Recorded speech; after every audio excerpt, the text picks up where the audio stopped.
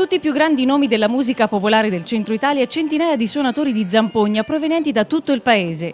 Questo è il Festival nazionale ed internazionale della zampogna, andato di scena durante il fine settimana ad Acqua Fondata.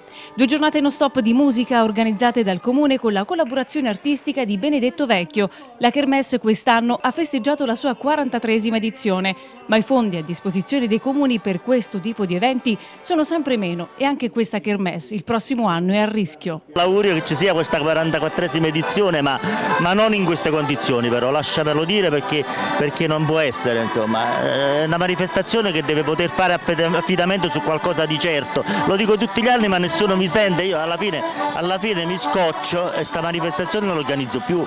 È bellissima e perderemo sicuramente qualcosa di importante. Importante l'impegno della Regione Lazio al fine di salvaguardare una delle tradizioni folcloristico-culturali del territorio ciociaro. Anche quest'anno la Regione sosterrà questo, questo festival assieme all'amministrazione comunale eh, perché è giusto continuare questa bella tradizione perché oltre quindi alla passione popolare c'è un'occasione importante di promozione del nostro territorio. Le nostre tradizioni possono diventare davvero una nostra risorsa economica, basta guardare le presenze di oggi che sono qui.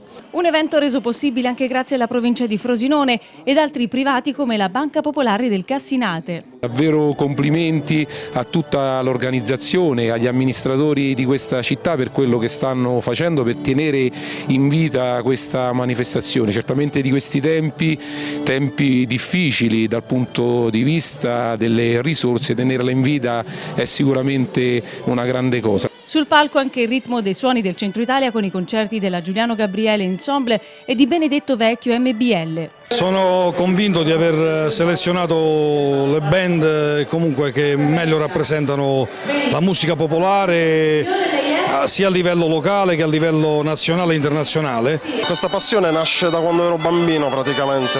Ho mantenuto vivo il ricordo degli zampognari che passavano per casa, per le strade, entravano nei condomini e portavano la gioia e l'allegria.